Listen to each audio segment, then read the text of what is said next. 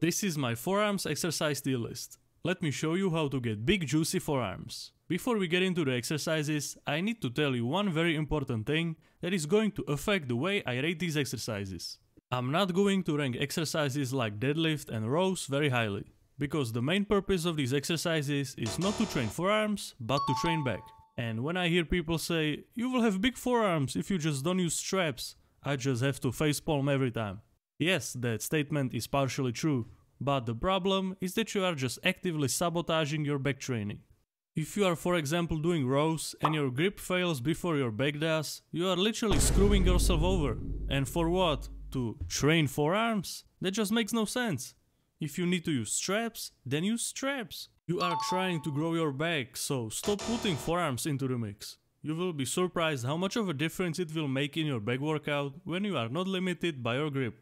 If you want to train forearms, then do it directly, with isolation exercises that I will show you later. The secret to getting big forearms is to take advantage of the forearm isolation exercises that are not very taxing. That's why you will not do something like a deadlift for your forearms, because it will completely wreck you and you will get almost zero forearm gains from it. But when you use isolation exercises that are not very taxing for your whole body, you can basically train forearms every day. And because forearms recover very quickly, it's the perfect way of training them. Well, I kind of got sidetracked, so let's finally start with the exercises.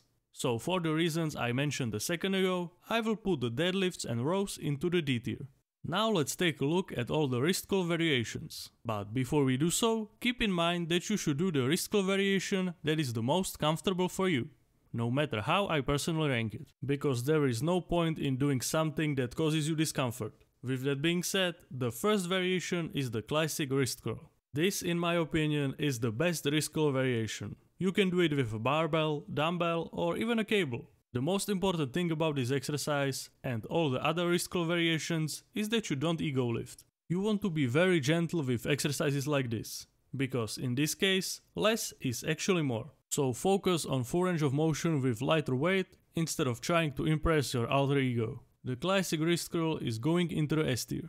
The next wrist curl variation is the wrist extension. The difference between a wrist curl and a wrist extension is the position of your palms. When you are doing the wrist curl, your palms are facing upwards. But when you are doing the wrist extension, your palms are facing downwards. I'm personally not that big of a fan of the wrist extension, but it can for sure still be used. I will put it in the B tier. And the last wrist curl variation is the behind the back wrist curl. In my mind, this is the worst wrist curl variation, just because of the limited range of motion and how awkward it can get at times if you got big glutes and hamstrings. But as I said at the start, the wrist curl variations are all about your preference. So don't get discouraged to try something that is a little bit lower on the list. I will put the behind the back wrist curl into the C tier. I'm pretty sure that you have never heard of this next exercise that I will talk about. It's the rice bucket training. Stop looking at your calendar. I know that it's not April Fool's just yet, but this is something that will really change your life, so pay attention. Hey, even you David, I know that you got me on a second monitor right now. You can't fool me. Alright, now that everyone is paying attention, let me tell you what this rice bucket training is all about. And by the way, I already talked about this in my newsletter, so if you want to stay up to date on awesome techniques like this, you should definitely join up. Link is in the description. So the rice bucket training is basically about putting your hands in a bucket of rice and doing various movements like opening and closing your hands, twisting your hands or even squeezing the rice itself. Just by doing this you can get some serious gains. And that's not only forearm gains, that also includes your whole hands and fingers. And the best part about it is that anyone can do it. All you need is a bucket, like 10 pounds of rice and 5 minutes of your time. There is literally no excuse to not do this. After you finish watching this video, I highly recommend you to watch this video and follow the routine. I will put the link to it in the description. You might get sore from the first couple of rice bucket sessions, but once you get accustomed to it, you can pretty much do it every day. It doesn't matter who you are, you should be doing the rice bucket training. Not only for the gains, but also to improve the health of your wrists. So write it down on your bucket list. The rice bucket training goes into the S tier.